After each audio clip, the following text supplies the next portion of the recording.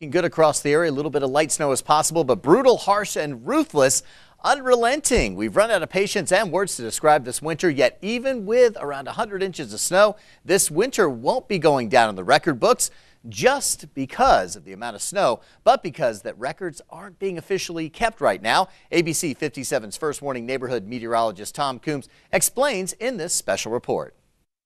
Since mid-November, it snowed and snowed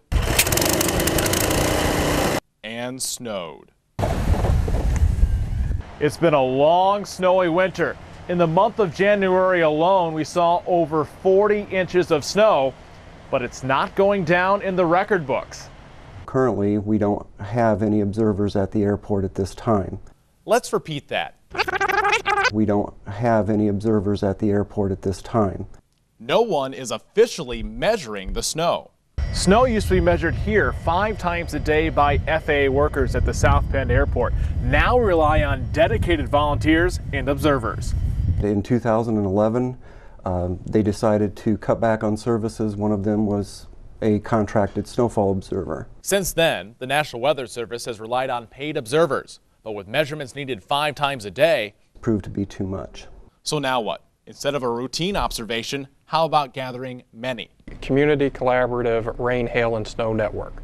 Or CoCoRaHS does that. It's a group of volunteers created after a deadly flood in Colorado. Uh, CoCoRaHS is very important in northwest Indiana and southwest lower Michigan, uh, especially for lake effect snow. When logging the data, what really matters is what's actually on the ground, and someone has to gather that.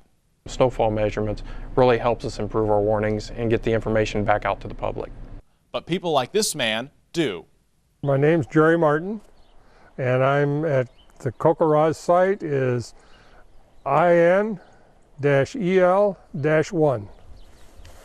Elkhart County 1, the first one. first one. Jerry is the CoCoRaHS coordinator and first observer in Elkhart County.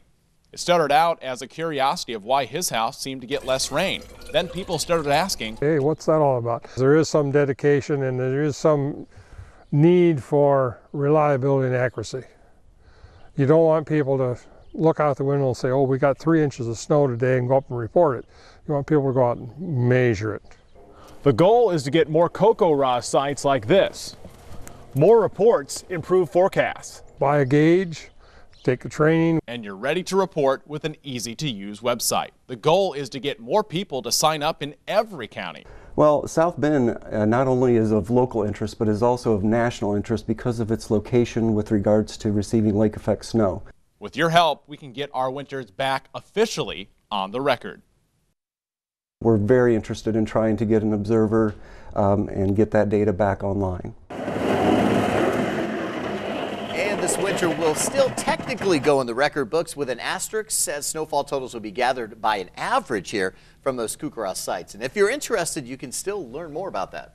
Yeah, on our website, abc57.com. Very interesting story there from It, Tom. it really is. It's amazing. You, you just get so used to those observers being there and being paid. It's when they don't have them anymore, you're like, what happened to all that? And so many of our Facebook viewers are so interested in the weather. This is a great way for them to get involved and Sure. also help out the weather team. Absolutely. They can report to them and to us at the same time. Absolutely. All right. Thanks, James.